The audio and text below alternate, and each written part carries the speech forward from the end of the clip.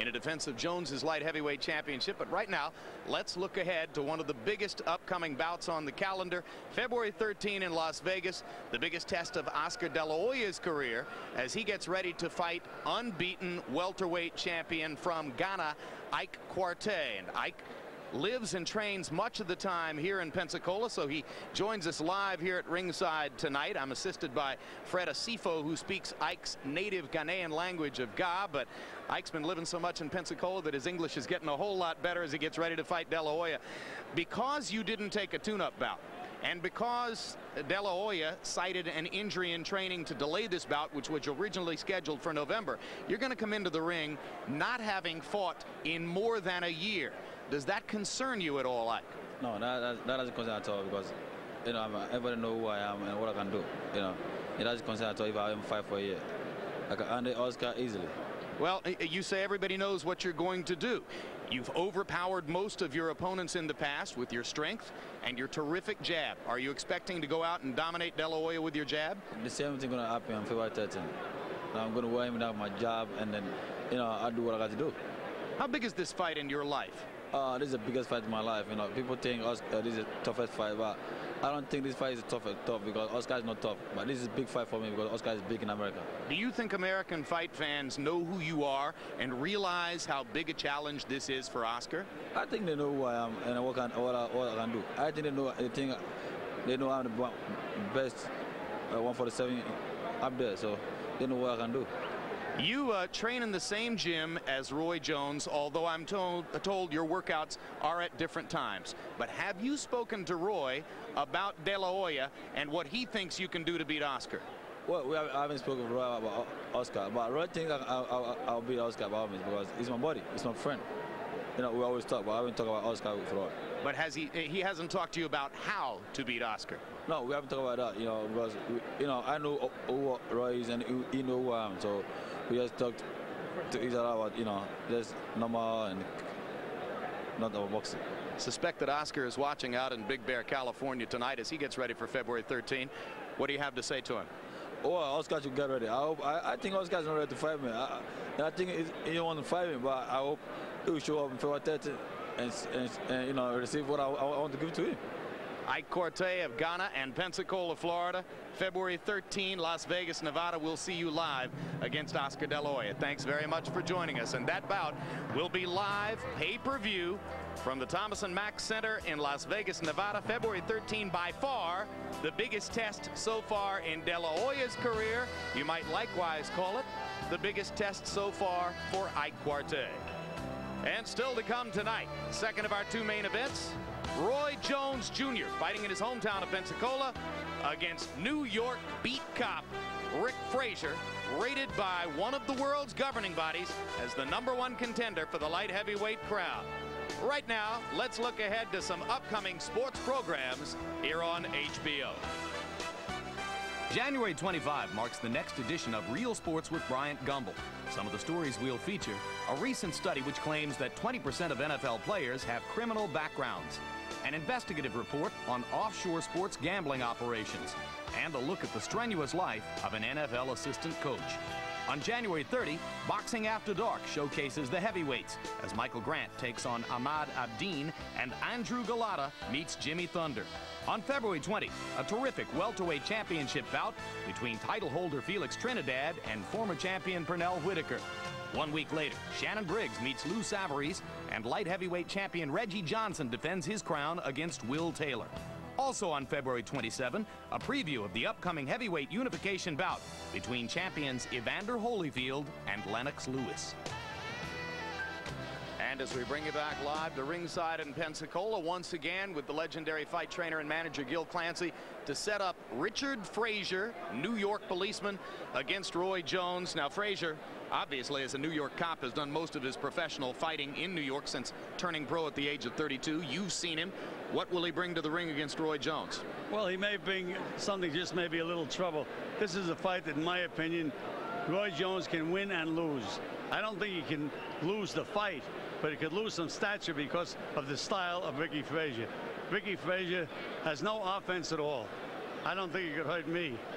But the idea is he makes you look bad because he doesn't try to win.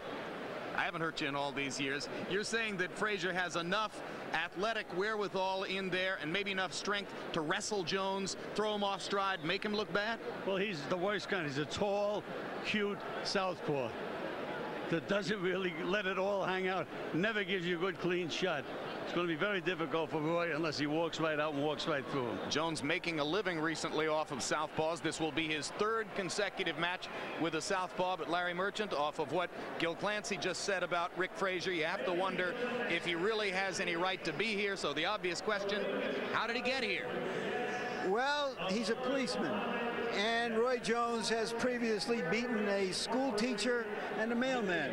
Apparently, he likes to beat up on civil servants. Watch out. No, let's give discredit where it's due. Ricky Frazier is a mandatory challenger because his promoter, Don King, and his manager, one Elvis Grant, are close buddies of Jose Sulaiman of the World Boxing Council also known as the world of bandits and charlatans. Be that as it is, it's not a bad thing for a journeyman fighter to get a shot at a good payday. One wishes, however, that this policeman at least would be favored to beat another member of the NYPD Blue, Andy Sipowicz. Incidentally, we asked him to rate the police shows. NYPD Blue, okay. Homicide, life on the streets. That's the one he says is real. Well, regardless of his credentials as a professional fighter, the story of a New York beat cop getting ready to fight the man that many regard as the very best fighter in the world is in its own way irresistible.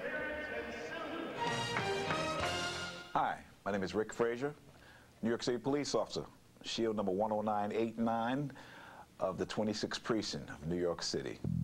And I'm here to fight Roy Jones Jr. for the championship of the world. 39-year-old Rick Frazier is no ordinary police officer. When he's not patrolling the Harlem streets near where he grew up at the General Grant housing projects on Broadway and 124th, he pursues his career as a professional boxer. From 8 to 4 each day, he's one of New York's finest. Before and after, it's a fighter's life. It's just a way of life. I mean, I get up in the morning, I do my road work, I do my strength training when it's time to go to, you know, lunch, and then when I finish, I go to the gym. Th that's just what I do. And that's what he's been doing since his amateur days. After compiling a 124-win, five-loss, not-for-pay record that included three New York Golden Gloves titles, Rick decided to turn professional at the advanced age of 32. I wasn't planning on turning pro at all. And I was sitting home thinking one day, eh, you don't want to get to 40 and say you should have had at least one pro fight. And so when I turned pro, I didn't turn pro thinking of contention or anything like that. I just turned pro to get a fight. So Rick further complicated his life and now boasts two full-time jobs. With full cooperation from his precinct, he has managed to juggle both effectively in preparation for his boxing career's biggest moment. They hooked it up where I can take my vacation at in this particular time of the year. It's hard to get off, you know, because it's the holiday time. You know, everybody and their mother wants to get off. Even the working parents of the precinct, they understand, fine, if I can't have the day off, you know, you want to give it to Rick so he can go fight for the title, fine, they'll do that. It was something we felt we owed him. Uh, while we didn't break any rules, we, we certainly uh, cleared the, the path for him to go and pursue something he's been trying to, to attain for many, many years. On extended holiday vacation, Rick has now been training full-time in Philadelphia with his heart set on a world title. But only seven years ago, his future didn't look so bright. In off-duty time, Rick and three friends allegedly got into a fistfight with two men on a New York City sidewalk. Rick was charged with assault after a man he was said to have punched died of head injuries. It was an incident where um, I was accused of, you know, being involved in some kind of big street fight, and I wasn't. I don't mess around. I don't get in trouble. I don't do anything. I don't bother anybody. And and then something happened in the street, and you don't believe me. You know, like I'm telling a lie. I'm not telling a lie. You know, this is what happened. Then when you get all your facts, you go, oh man, this guy was telling the truth. After a three and a half year process, Rick was cleared of all charges. During that time, he fought frequently, and his pro record now stands at 18 3 and 1. He has been elevated to top ranked contender without having beaten any big name opponents. In anticipation of the upcoming title fight, every policeman in his precinct has become a boxing fan. and they freely offer their takes on his chances against Roy Jones. One particular girl, she said, oh, Ricky's to do all right. As soon as the cameras went around, he's to kick your butt, you know. And I'm like, that's coach now. I still love you, though. I come to work, I get pictures of Roy Jones pasted on my locker. It says, kick your ass, Rick. Then it says, you want a piece of me? Not one of my partners that I work with. He told me, yo, Rick, put my name on the bottom of your shoe. So when Roy knock him out, everybody can say, hello, Chris Green. we have good medical benefits in the police department, good dental program in the PBA, so if he gets hurt, they'll patch him up. And he's a good-looking guy. We don't want to see him messed up. Everybody takes turns pop shotting at me, you know, but it's, it's, it's all good. They needle and needle and needle, and everything's a joke because on a serious note, you can get killed as a police officer. So we needle and we needle and we laugh and we joke because we don't want to look at that side. You know, we always look at the positive sides of things. Win or lose tonight, Rick Frazier's efforts can be commended. Not only as a 17-year veteran of the New York City Police Force, but also for his determination to fight professionally at the same time. He's proving to himself that if you try hard enough, nothing is impossible. Tale of the tape for Roy Jones Jr. against Richard Frazier, the 10-year age difference. One-inch height advantage for Frazier. They weighed in within a pound of the 175-pound limit. Jones has gained seven pounds. Frazier's only gained four and a half.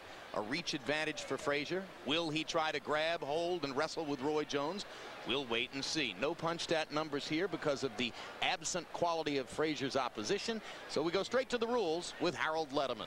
The Roy Jones Jr. Rick Frazier fight once again is scheduled for 12 rounds using the rules of the Association of Boxing Commissions. There is no standing eight count, no three knockdown rule. Only the referee can stop the fight, and you cannot be saved by the bell in any round, including the 12th and final round. Jim. All right, thank you, Harold. Here comes Rick Frazier in uniform.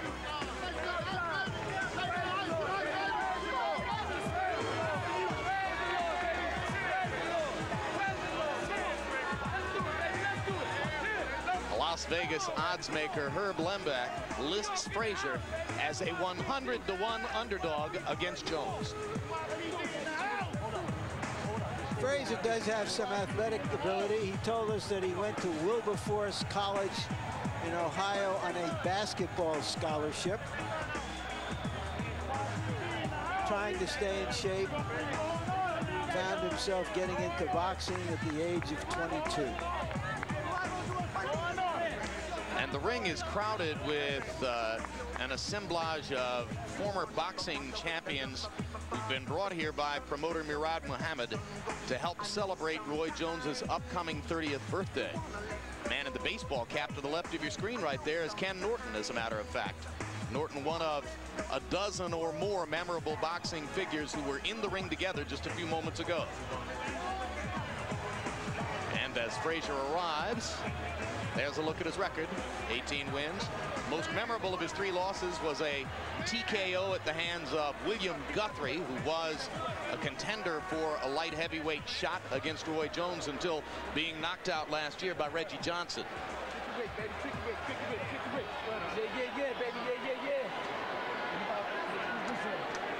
And whenever one thinks of the process through which Frazier got here, he is here big moment. Uh, exceeded his dreams, in fact. And you do have to give him props for that. And Roy Jones, who always tries to put the best face on everything, says he's honored to be fighting against a policeman because they are so richly deserving of societal respect. But you can get 20 years in the state of Florida for assaulting an officer. But on a first offense, you might get away with five. I see. Style. Roy, as usual, entering to partially self-composed music and with a headset microphone on so that he can help deliver the goods as he comes into the ring. Deliver the words, anyway.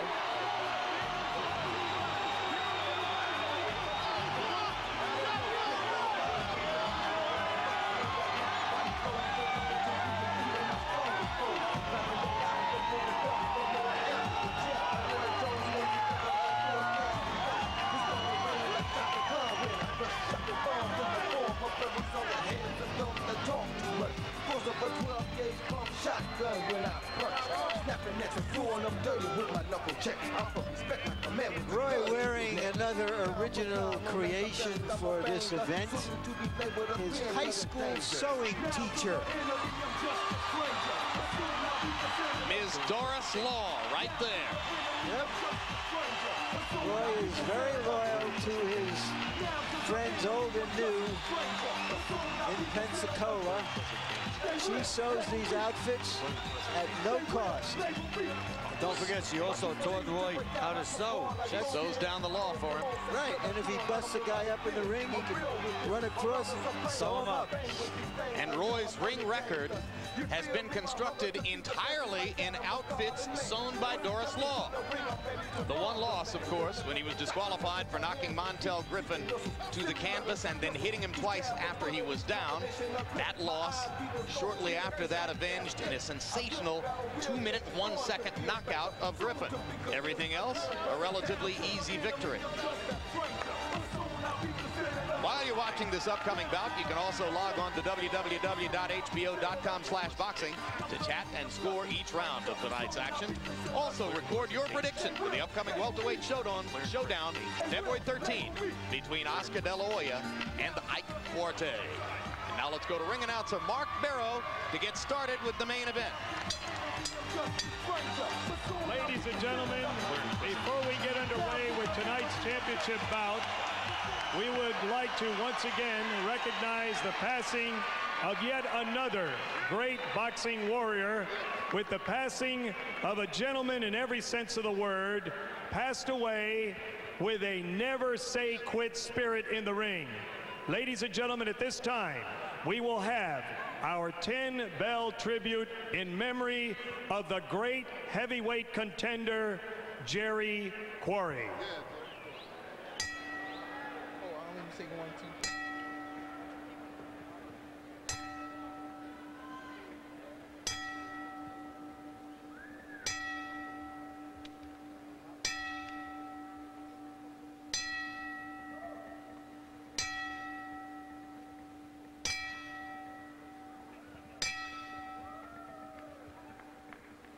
May he rest in peace. And now, ladies and gentlemen, from the Pensacola Civic Center in Pensacola, Florida, Murad Muhammad and M&M Sports and Square Ring Incorporated in association with the Grand Casinos and Pepsi One, all the taste, one calorie, and only one has it all. Pepsi One presents the HBO main event of the evening, Law and Order. 12 rounds for the WBC and WBA light heavyweight championships of the world. Ring officials assigned by the World Boxing Council, President Jose Sulaiman, supervisor in attendance, Dr. Pedro Sequeria, by the World Boxing Association, President Gilberto Mendoza, supervisor in attendance, York Van Nixon Jr. Your judges at ringside are from Detroit, Michigan, Glenn Hirsch, from Dallas, Texas, Oren Shellenberger, and from Leesburg, Florida, Frank Skilbred. Your referee for this event, El Hijo de la República de Cuba, making his home in Miami, Florida, El Caballero Armando Garcia. Now, ladies and gentlemen, introducing the principals first. In the blue corner to my right, wearing the blue trunks, weighing 174 pounds. His professional record, 18 victories, three defeats, one draw, and seven wins coming by way of knockout. A proud member of New York City's finest, hailing from the big city, New York City. Rated number three by the WBA and number one by the WBC. The challenger, Tricky Rick Frazier. Frazier. His opponent in the red corner, wearing the gold sequin trunks, weighing 175 pounds with a professional record of 38 victories, one defeat, 32 wins coming by way of knockout. The pride of Pensacola, Florida, the WBC and WBA light heavyweight champion of the world, Roy Jones Jr. Jones Jr. 12 rounds for the WBC and WBA light heavyweight championship of the world.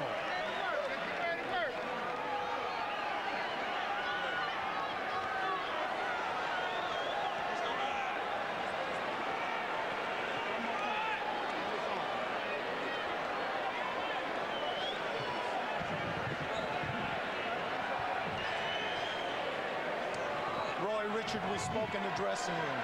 I'm confident that you know exactly what I expect of you. Gentlemen, I will control this fight. This will be a clean fight. Protect yourself at all times. Obey my commands at all times. Any questions? Touch gloves. May the best man win. This small 16 and three quarter foot ring did not affect the earlier fight. It could affect this fight if Frazier intends to do a lot of running. Perhaps it signals the fact that Roy Jones, having had to train through the holidays, doesn't want to have a long fight. Well, again, you, this ring it does not meet with the regulation size according to the WBC. The minimum is supposed to be 18 feet. Yeah, but they make up the rules as they go along. You know that.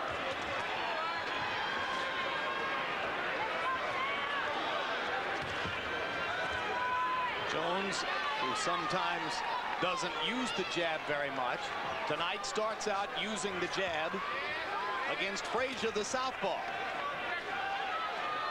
And as usual, Roy defies convention because a lot of fighters don't try to jab against southpaws. They lead with the straight right hand instead. But one thing that he is doing that I agree with that he wasn't doing the other times before southpaws because he's moving to his left most of the time. Now he just went to the right. What's the advantage of moving to your left against a southpaw? Then that sets up your left hook to the body and head. And with that, then you can also nail him with a straight right hand. The other way, you're walking right into him. Let's go, break clean. Break clean, step back. You want to see the opposite example? Go back and look at your tape of De La Whitaker and watch Oscar move to his right all night long against a southpaw, therefore nullifying his own left hook. Absolutely. Well, so far Frazier is living up to your analysis. No offense, all defense.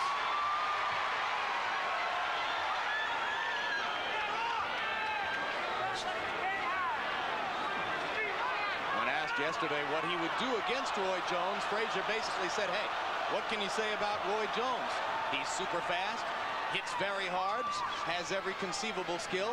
I guess I'll do whatever I can. Frazier flicking a couple of jabs. Jones, who has been increasingly devastating to the body in the last year, has only sneaked in one effective body punch against Frazier so far. He has nothing to punch off because Frazier just does not lead. His first move is always defensively. Makes it very, very difficult for Jones. Nothing he can't win in rounds easily, but for him to nail him with a big punch.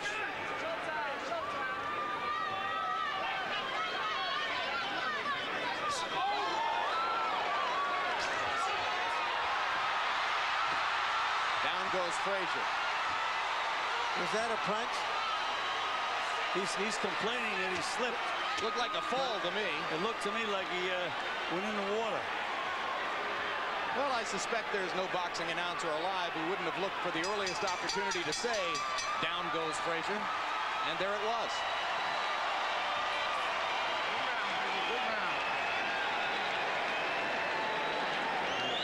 Trying to catch it with Jay Perry, the jab, fake the jab, and then come with another one. You'll hit it. You'll hit it. Just take it serious. Okay, then. Let's go be that. You scared as shit. Jab. Right the top of my head. Wipe the top of his head. slip. That's all. Yeah, I know that. Okay, you warm up now, baby. All right? Some water. Here you go. Take an overhead look of this knockdown. You see the you see the cushion with the advertisement on the side of the ring just outside of the ropes. He stepped on that and slipped. There was a light tap to the top of the head that might have helped the slip. It was completely off balance. He was So even though Pepsi One has only one calorie, it was heavy enough to knock over Richard Frazier. And give you an opportunity to pay homage to Howard Cosell's call in the George Well, it wasn't fight. exactly the thunder of Jamaica. It, it wasn't Foreman lifting Frazier off the canvas with his uppercuts, but it was the best we could do for the moment. And now the advertisement has been removed from the far side of the canvas. Well, no matter how small the ring is, Frazier is finding a way to make it look bigger. And Jones switches to southpaw and nails Frazier with a right hook. And leads with the left out of the southpaw stance. Frazier still will not punch back. They will walk right through him. I suspect that Jones is switching to southpaw because he believes that'll give him a better punching angle against the southpaw Frazier. Well, he's switching to southpaw because he doesn't respect Frazier's arsenal at all. You can see Frazier when he gets hit, he doesn't punch back. If he blocks a punch, he doesn't punch back. Will it be appropriate for the referee to step in and say, Ricky Frazier, you're here to fight. If you don't throw punches, I'm going to penalize you and maybe even stop the fight. Well, again, Larry, many years ago, the most effective thing the referee could do is walk over to the corner and say, unless you start fighting, I'm going to disqualify you and you're not going to get paid. They hear that word paid and somehow it wakes them up a little bit. Gets their attention. We mentioned that Jones is fighting a third consecutive southpaw tonight. Lou Del Valle in the summer. Otis Grant in November up at Foxwoods. And in both of those fights, he switched to southpaw stances from time to time as well. As he did against Eric Lucas a few years ago in fighting a southpaw who once went the distance in a victory over Frazier. Frazier seems to be patrolling the beat in a dangerous neighborhood. Jones whacking him with a lead left hand out of the southpaw stance. Make him feel more comfortable if somebody put the lights out. Now Jones goes back to his Besides conventional Jones, stance. Jones in the conventional stance, holding his left hand below his waist and looking for lead right hand opportunities. There's a landed right.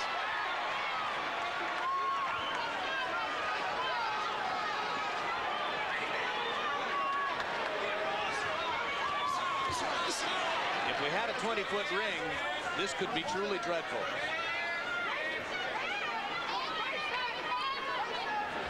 Frazier's agile enough to, to move away from punches, even in the 16-foot ring, because again, he doesn't give you anything to punch off. Left hook stunned Frazier. Little right hand tap knocked him down. And hello, Chris Green is not written on the bottom of Frazier's shoes. And that's the end. Armando Garcia decides that that's a good moment for stopping the fight. Well, this is an early stoppage state, as we saw in our last doubleheader here a few weeks ago. In those circumstances, we questioned whether the fight should have been stopped. In this circumstance, I have to applaud the referee because it only could have gotten uglier. And, and uglier, and uglier. What about the stoppage, Harold?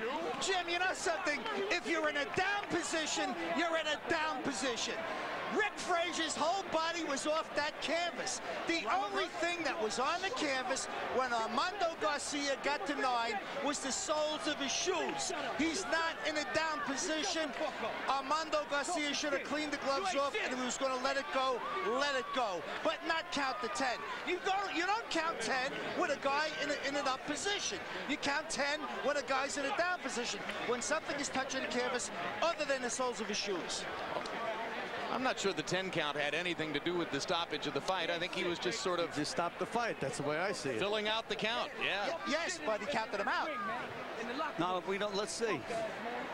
I think he let him get up and then he stopped the fight. That's just a technicality, Harold. This this was a fight between a great fighter and an ordinary fighter to put your best face on it. Uh, and the referee did all of us a favor by sending us home early. I applaud him no matter what the letter of the rules are. There's the referee, Armando Garcia, who had seen enough of Richard Frazier against Roy Jones. So Jones gets a second round technical knockout over Frazier.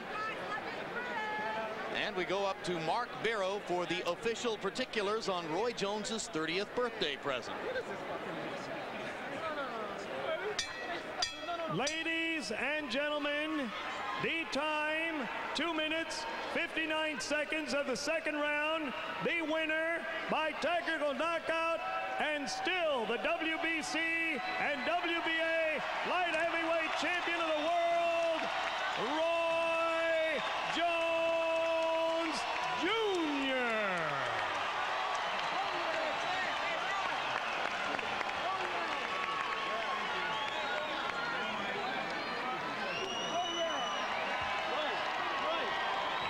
Final punch stat numbers. Frazier landed four of 29 punches in his five minutes 59 seconds of work. Jones 39 of 92.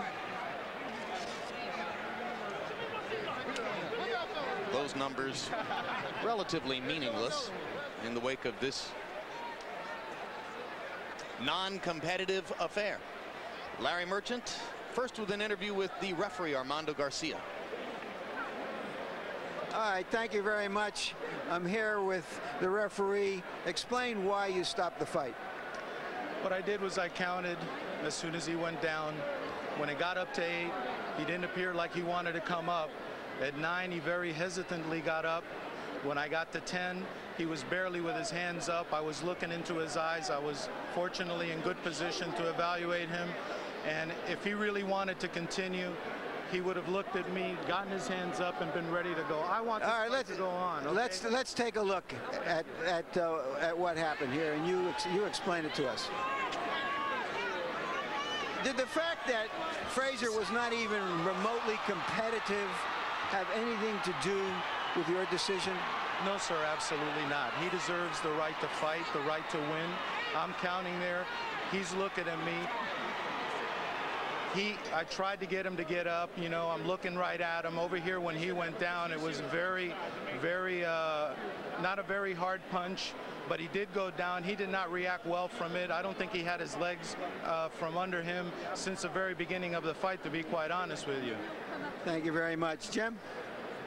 All right, so another victory for Roy Jones and one which is not likely to be seen to have proven very much, Gil Clancy, but uh, Jones will be haunted his entire career by the question of when he's going to fight somebody until that fight arrives that will help him to define his career. And in the light, he light heavyweight division, maybe it never comes. But you know, with Roy Jones this time, it certainly wasn't his fault as to who the opponent was. The fighter was ranked number one by the WBC, and he had to fight him, or they were going to take his title away. Yeah. So now let's go to Roy Jones, who wants to say something to the entire assembled house a week away from his 30th birthday. Uh, there are a couple more fights left, but I'd like to say thank you for everybody, to everybody for coming out and supporting Roy Jones Jr. It's been a wonderful evening. We've had a wonderful, successful career. I appreciate everybody in Pensacola for always supporting me. I always try to do my thing to prove that Pensacola is number one. And as long as I'm doing this, we're going to stay number one. Thank you.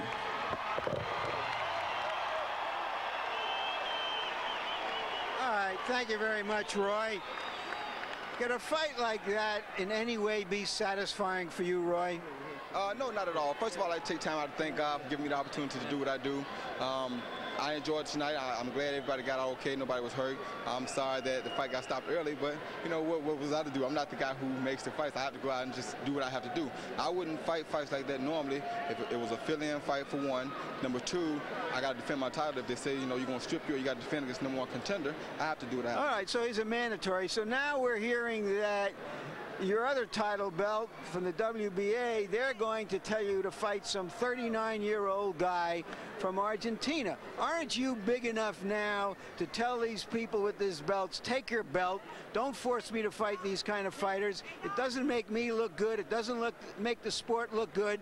And let me go and fight the better fighters out there. Well, you know, it's not my job to tell the people what to do. I just, I enjoyed being champion while I was in the sport of boxing. I don't look to be in the sport of boxing much longer. I am bigger than having people order me around. Nobody's going to order me around. If it's not something that I like, then I'm going to go do what I want to do. You know that yourself. But um, I don't want fights that are not going to be beneficial for me. I don't know if the fights are beneficial or if they're going to be great fights until I get in here and fight them. So I can't judge a guy just from what he's supposed to be or what he's not supposed to be.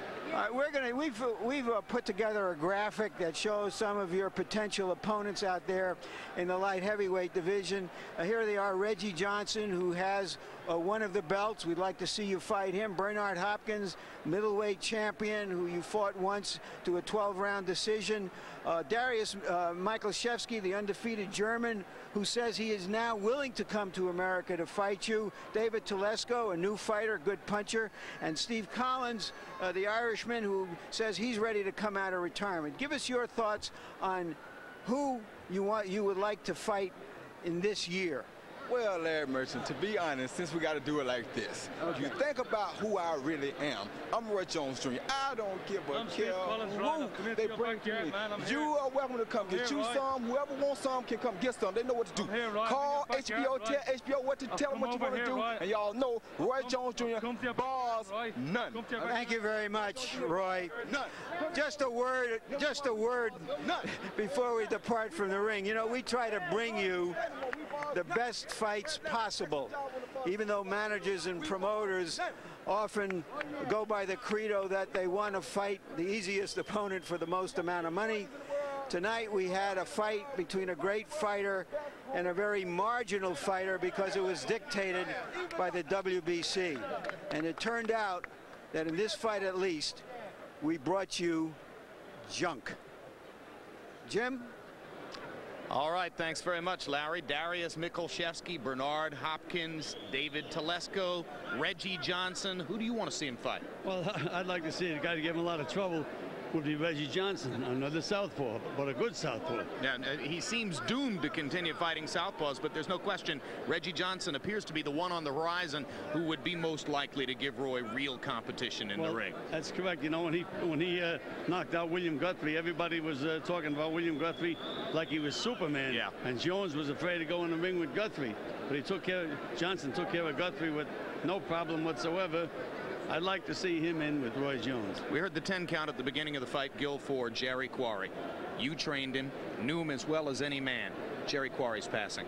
Jerry Quarry, people don't realize he was just a great, great fighter. Came along when there were some other tough guys out there. Fought every tough guy in the business. Fought Joe Frazier twice. Fought Muhammad Ali twice. Knocked out Ernie Shavers in one round.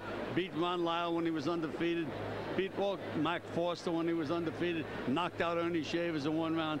He was a great, great fighter, uh, Jerry Quarry. But of course, sadly, paid too heavy a price for his years in the ring. Larry? Now, there's a cautionary tale, of course, that he did fight for much too long and suffered dementia, which led to his death.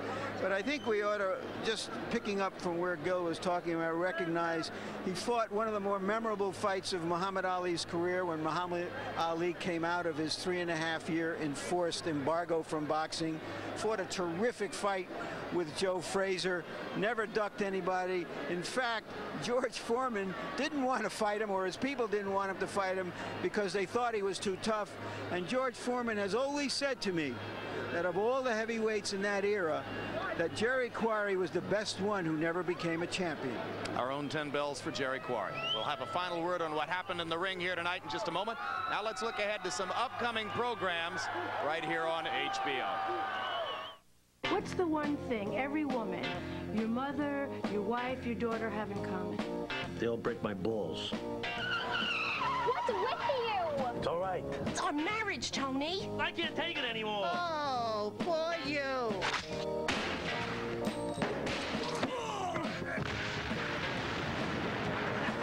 Bingo! you may run North Jersey, but you don't run your Uncle Junior. How many fun hours did I spend playing catch with you?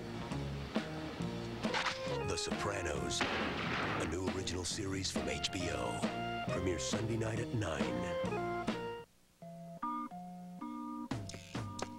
It was 1977. Jack Horner, filmmaker. Come make uh, exotic pictures. A time when sex was safe. Maybe you think about your name. Dirk Diggler. Good name. I like your name a lot. When disco was king. So let me just pop in this eight track, and you just give a listen, tell me what you think, okay? So you like my shoes? They're pretty cool. And pleasure was a business. Cut. Terrific. And the award goes to Mr. Dirk Diggler. Mark Wahlberg, Julianne Moore, Burt Reynolds. This is the best work we've ever done. Oh, wait, wait, wait, wait, wait. Love this part. Boogie Nights. Premieres Saturday, January 16th on HBO. January 25, HBO Sports presents the next edition of Real Sports with Bryant Gumbel. Among the stories to be featured, an investigation into offshore gambling operations that take in hundreds of millions of dollars in what American authorities say are illegal sports bets. A look at a controversial study which asserts that one of every five NFL players has a criminal background. Real Sports, where nothing is out of bounds. In three weeks, we'll be back with a heavyweight edition of Boxing After Dark as Michael Grant takes on Ahmad Abdin and Andrew Golota faces Jimmy Thunder. Then on February 20, World Championship Boxing presents a terrific welterweight championship battle between title holder Felix Trinidad and former champ Pernell Whitaker. One week later, Shannon Briggs meets Lou Savarese, and light heavyweight champion Reggie Johnson, we were just talking about him, defends his crown against Will Taylor.